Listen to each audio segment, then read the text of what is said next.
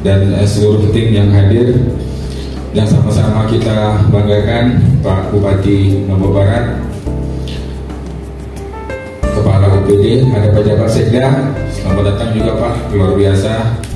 Kepala UPD teman-teman camat yang luar biasa sukses selalu Pak Camat dan teman-teman kepala puskesmas semua yang kompak dan tentunya ada sanitarian yang luar biasa berjibaku selama 15 tahun lebih agar bisa kita memperoleh 5 pilar SDPM. Tujuan dari pertemuan ini adalah untuk mendeklarasikan eh, semua dusun, desa, dan kecamatan di Lombok Barat yang telah menerapkan 5 pilar eh. Yang kedua, komitmen OPD terkait untuk peningkatan kualitas dan kuantitas sarana air dan sanitasi di Kabupaten Lombok Barat. Yang ketiga, meningkatnya keterampilan dan pengetahuan masyarakat dalam perilaku hidup bersih dan sehat. Kemudian menurunnya kasus-kasus penyakit berbasis lingkungan Kabupaten uh, Lombok Barat. Sedikit kami laporkan uh, Bu Baguk dan Pak Bupati bahwa minggu kemarin ya kita sudah menerima penghargaan tingkat nasional. Ada tiga penghargaan yang kita terima. Sekaligus diterima oleh Pak Bupati dan dihadir juga oleh Bu Wagub saat itu. Yang pertama kita sebagai kabupaten kota terbaik dalam upaya percepatan stok buang air besar sembarangan kategori peningkatan kebutuhan sanitasi. Yang kedua dan penghargaan sebagai kabupaten kota penerapan lima pilar STBM dan yang ketiga kabupaten kota sebagai uh, kabupaten stok buang air besar sembarangan. Selain itu di saat yang sama tapi tempatnya berbeda Pak Bupati uh, Lombok Barat juga mendapat penghargaan dari Kementerian Kesehatan sebagai juara satu tingkat nasional yaitu lansia yang mendapatkan pemeriksaan dan konsulen terbanyak di Indonesia. Itu kita terima dalam satu hari. Alhamdulillah eh, capaian ini berkat motivasi dari Bu Wakil Gubernur, Pak Bupati dan semua eh, stakeholder yang ada baik camat maupun Pak Kapus yang kerjanya luar biasa tentunya sanitarian hasil ini tentunya akan lebih menyemangati kita untuk berubah yang terbaik untuk NTB khususnya untuk Lombok Barat. Mungkin uh, demikian sambutan sedikit dari saya. Terima kasih. Bila itu walidayah Assalamualaikum warahmatullahi wabarakatuh. Assalamualaikum warahmatullahi wabarakatuh. Deklarasi Kabupaten Lombok Barat tuntas di pilar sanitasi total berbasis masyarakat STBM. Pada hari ini, Rabu tanggal 30 November tahun 2022, kami seluruh masyarakat Kabupaten Lombok Barat, Provinsi Nusa Tenggara Barat menyatakan bahwa telah tuntas melaksanakan lima pilar sanitasi total berbasis masyarakat, yaitu satu, seluruh masyarakat Kabupaten Lombok Barat, seluruh masyarakat Kabupaten Lombok Barat tidak buang air besar sembarangan. Tidak buang air besar sembarangan. Dua, dua, seluruh masyarakat Kabupaten Lombok Barat, seluruh masyarakat Kabupaten Lombok Barat melaksanakan cuci tangan pakai sabun di air mengalir. Melaksanakan cuci tangan pakai sabun di air mengalir. Tiga, tiga, seluruh masyarakat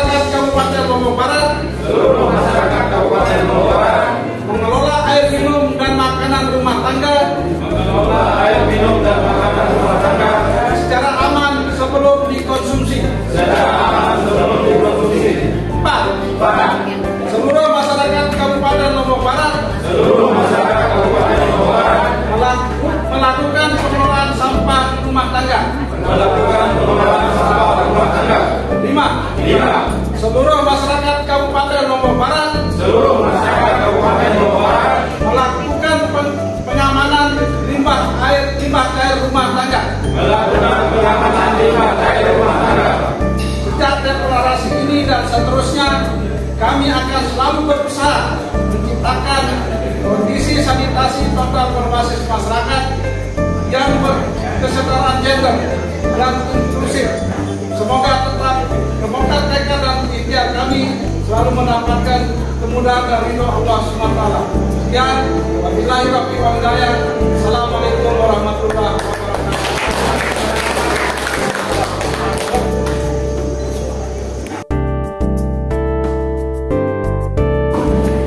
Bismillahirrahmanirrahim Assalamualaikum warahmatullahi wabarakatuh Pagi, salam sejahtera untuk kita semua Om Swastiastu.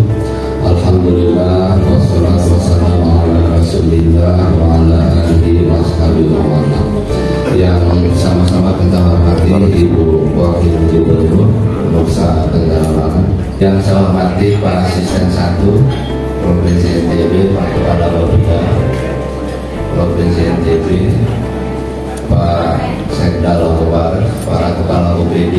Lombok Barat, para camat, para Kepala Puskesmas, Bapak Ibu sekalian hadirin yang saya banggakan.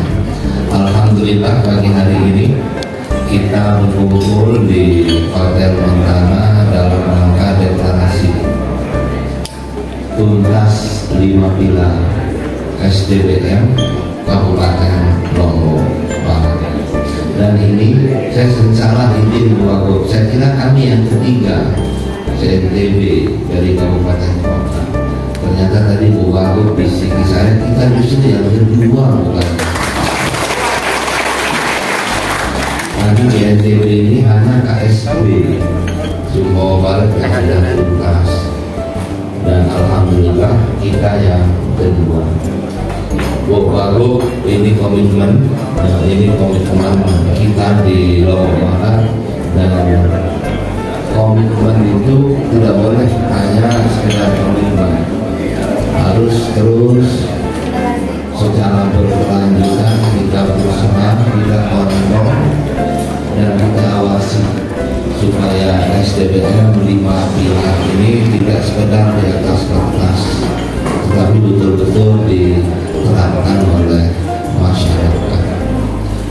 Wagub, Bapak Ibu sekalian hadirin yang saya muliakan satu hal yang sangat membantu keberhasilan kita untuk deklarasi lima pilar SDBM ini adalah tokoh agama, tokoh masyarakat. Karena lima pilar ini sebenarnya adalah agama semua dan berhubungan langsung dengan ibadah ritual kita. Utamanya sholat. Izin Bu Wagub sering saya sampaikan. Salah satu syarat sholat itu bersih dari najis. Kedudukannya sama dengan wudhu.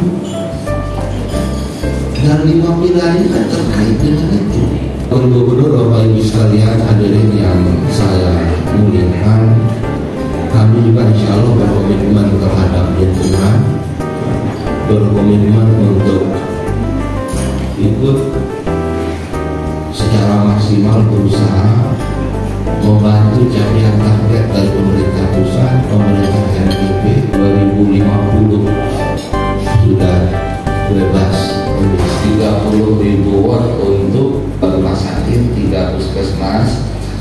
saya sudah minta tidak lanjuti juga dengan pembuatan-pembuatan taman, taman-taman hijau menanam pohon-pohon supaya tidak hanya hijau dari sisi fisik tetapi juga indah di pandang mata. Terakhir, terima kasih Bu Wagub sangat perhatian terhadap persoalan ini dan sekali lagi kami berkomitmen untuk melaksanakan itu semua. Saya kira demikian sekali lagi selamat kami kita semua memiliki camat-camat yang luar biasa.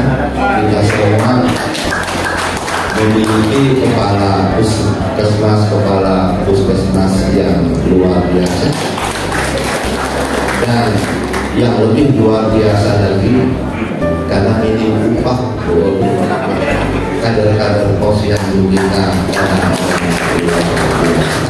demikian kurang lebih mohon maaf bila taufiq wal hidayah wassalamualaikum warahmatullahi wabarakatuh Waalaikumsalam warahmatullahi wabarakatuh.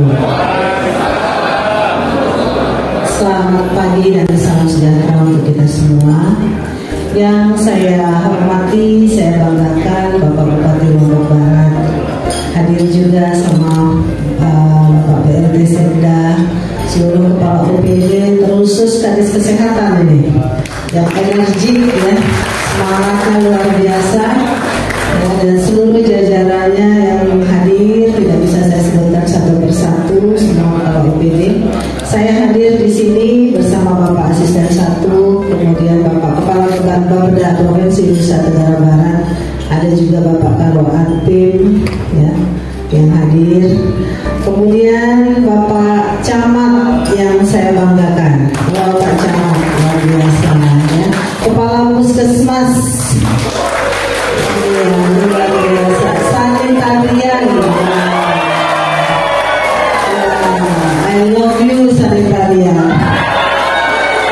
Lombok Barat komit terhadap pengelolaan kesehatan dan lingkungan. Ini luar biasa. Jadi Lombok Barat ini tidak banyak kabupaten kota yang deklarasi lima pilar. KSB yang pertama. Nanti kita cek Lombok Barat ini yang keberapa di Indonesia. Ya. Bahkan kita ini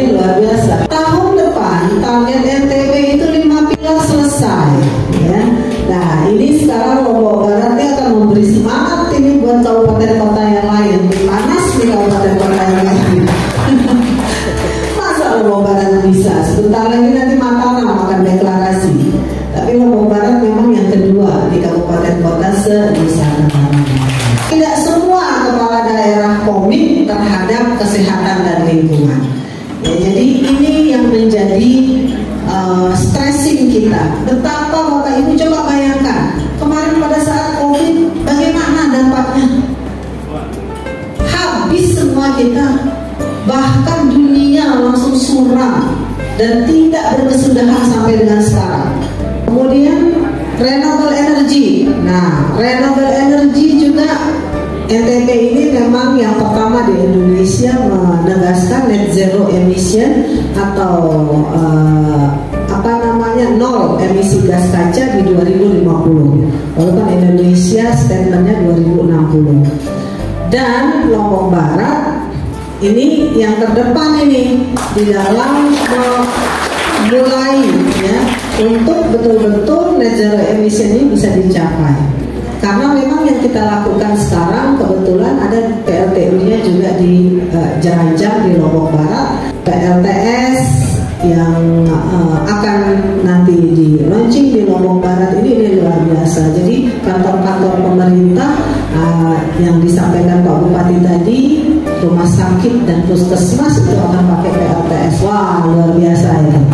PLN wajib mendukung, tidak bisa tidak, emission ini.